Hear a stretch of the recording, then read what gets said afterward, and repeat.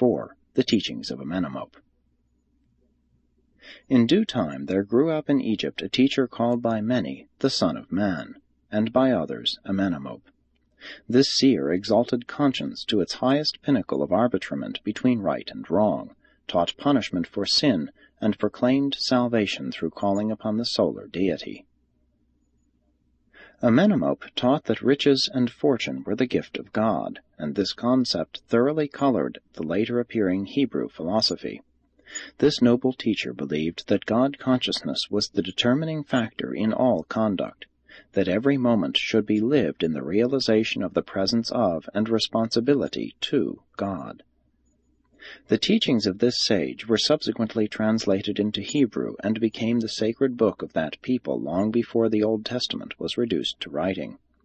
The chief preachment of this good man had to do with instructing his son in uprightness and honesty in governmental positions of trust, and these noble sentiments of long ago would do honor to any modern statesman.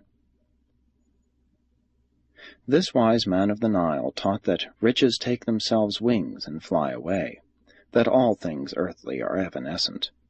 His great prayer was to be saved from fear. He exhorted all to turn away from the words of men to the acts of God. In substance, he taught, man proposes, but God disposes. His teachings, translated into Hebrew, determined the philosophy of the Old Testament book of Proverbs. Translated into Greek, they gave color to all subsequent Hellenic religious philosophy. The later Alexandrian philosopher Philo possessed a copy of the Book of Wisdom. Amenemope functioned to conserve the ethics of evolution and the morals of revelation, and his writings passed them on both to the Hebrews and to the Greeks.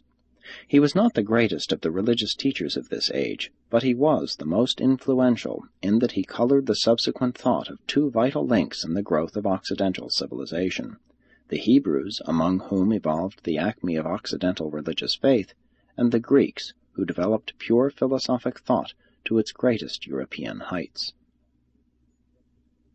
In the book of Hebrew Proverbs, chapters 15, 17, 20, and chapter 22, verse 17 to chapter 24, verse 22, are taken almost verbatim from Amenemope's Book of Wisdom.